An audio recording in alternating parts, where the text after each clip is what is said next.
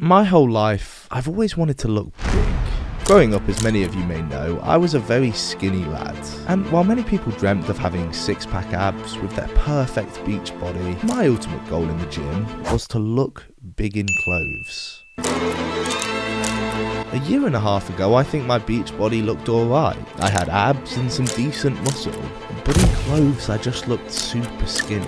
Fast forward the clock to now, and while I don't look big in clothes yet, I definitely look a lot bigger. So how did I do this? Well, obviously apart from cramming food down my face, I also started working on this part of my body. You see, this area is what can make someone look big.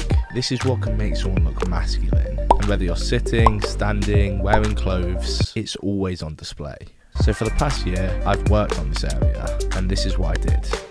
So in order to build this bigger upper part here, there's three muscle groups you need to train. Shoulders, traps, and neck.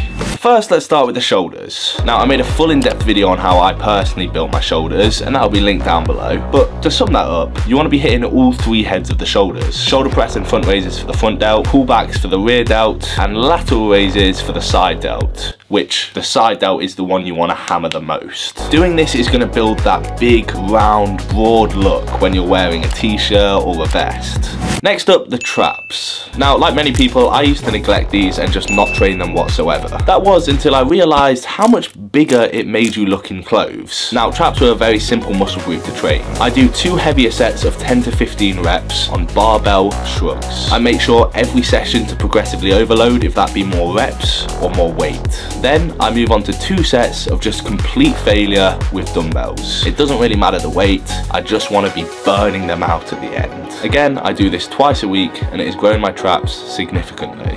Finally, we moved on to the neck. Now I'd say that less than 1% of all gym goers even train their neck. And considering it's always on display and it makes you look really big, I don't see why that's the case. Look at Mike Tyson for example back in the day. His neck was extremely wide due to him training it a lot for boxing and in clothes the guy looked like a monster. And once again like the traps it's a very simple muscle group to train. I bought one of these neck harnesses off Amazon for literally 20 quid. Twice a week before bed I do two sets to failure of neck front raises, two sets to failure of neck back raises. That's it. Look, I don't know if this is the most optimal way of training your neck, but it's worked for me. I've had many compliments on it, and importantly, it doesn't affect the rest of my training in the slightest. So give these a go.